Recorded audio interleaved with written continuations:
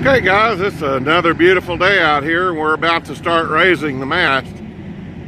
Uh, we got uh, everything else going. Here comes Warren. But as you can see, it's a beautiful day. We'll be uh, getting this underway. The doghouse looks great.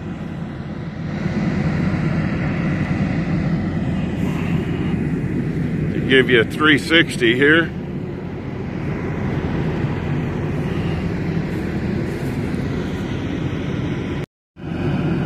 Okay guys, we're totally standing up and it's a beautiful day uh, here in Seminole and rig 3 is a sight to behold.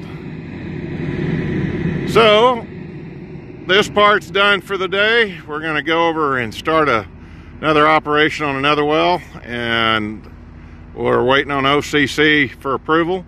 I shot a lot of drone footage. I'm going to go back to the office and start uploading.